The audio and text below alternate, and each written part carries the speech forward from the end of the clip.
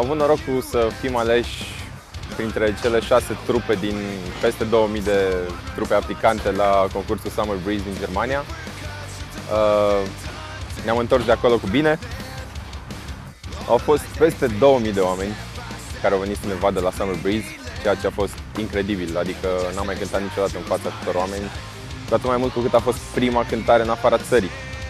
Iar uh, reacția publicului a fost genială, adică m-aș mai duce să cânt din nou acum.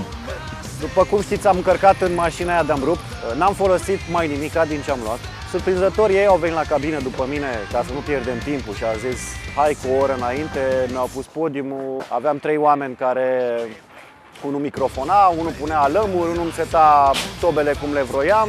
I-am zis vreau fus pe stânga, vreau fus pe dreapta și a venit cu întrebări comice. Da, vreți două de 14? Vreți unul de 13? Vreți unul de 15? Vreți două de... Dă-le dracu, două fusuri să fie. Pe mine m-au lăsat fără cuvinte, că eu de obicei sunt obișnuit să încerc întotdeauna la începutul show-ului să încălzesc publicul. Și am încercat să le fac semn să facă circle pit, dar ei erau deja acolo.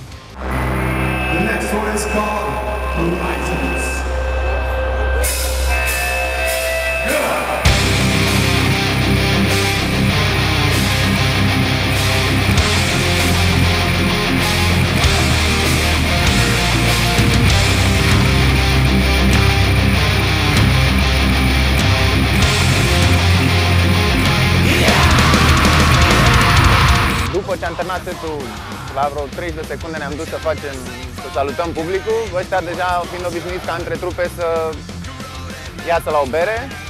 Și cum au văzut cu coada ochiului că ne-am prezentat acolo o plecăciune, toată lumea, aplauze, nebunii. Am dăruit o stică de Jack băieților de la Ice Surf, uh, John Shepard, Troy Sealy, uh, am stat cu Stu Block și băieții au fost foarte ok, s-au bucurat mult că au primit cadou.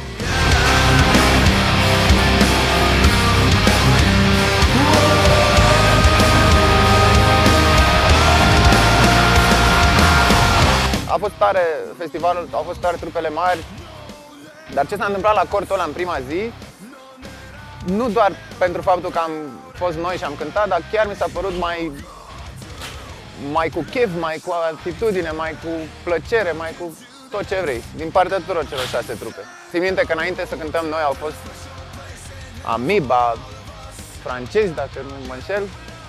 Vai ce dărmau ei acolo și cum, cum dădeau. Altfel arătau ca precum Kelly Family, dar o, sunt niște filmări, cred. Se dădea vocalul cu capul de scenă și n-au câștigat.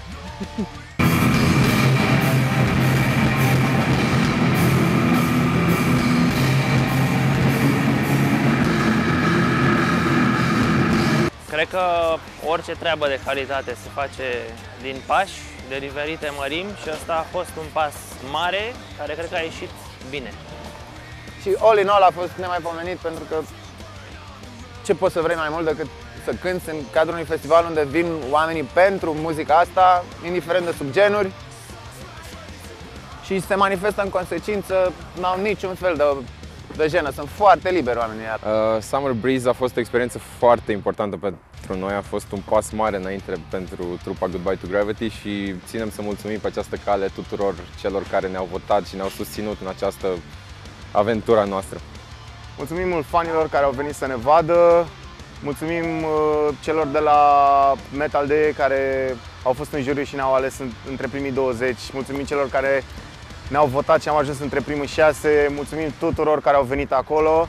Și în ultimul rând mulțumim lui Florin și lui Alex de la Lifehouse și băieților la Jack Daniels care ne-au susținut.